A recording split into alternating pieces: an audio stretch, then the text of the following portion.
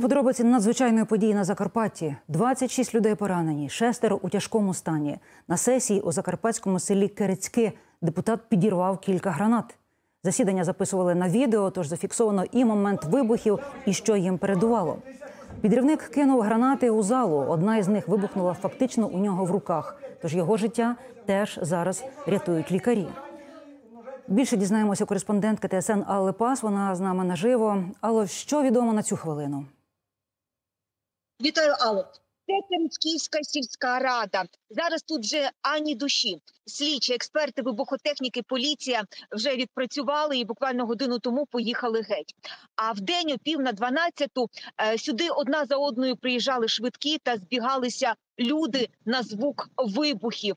Е, Із сільської ради винесли 26 поранених. Більшість із них зараз у Свалявській міській лікарні. За словами лікарів, їхні поранення тяжкі.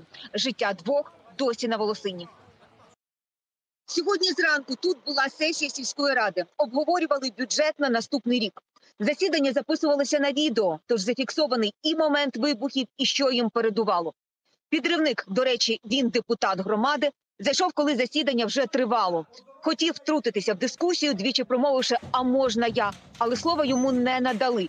Тоді у залу він і запустив гранати.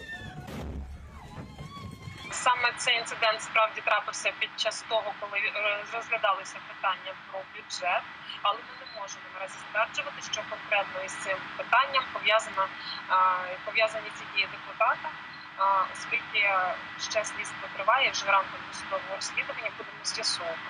Можу сказати е, попередньо, що була інформація про те, що він готував такий акт. Все інше вам не можу сказати. Це таємниця е, досудового розслідування, Е, але факт це є. Вдома ця записка була знайдена. Слідчі відкрили кримінальне провадження за кількома статтями. за статтею 258 Кримінального кодексу України, тобто мова йде про теракт. Гранати кидав депутат Сергій Батрин. Він цивільний, стосунку до армії немає. Раніше займався пасажирськими перевезеннями і мав давній конфлікт з очільником Керецьківської сільради. За даними очільника МВС, чоловік заздалегідь готував теракт, але всю інформацію щодо мотивів поліція поки не розголошує. Світлана Павук, Світлана Деніщук, ТСН 1+,1 марафон. Єдині новини.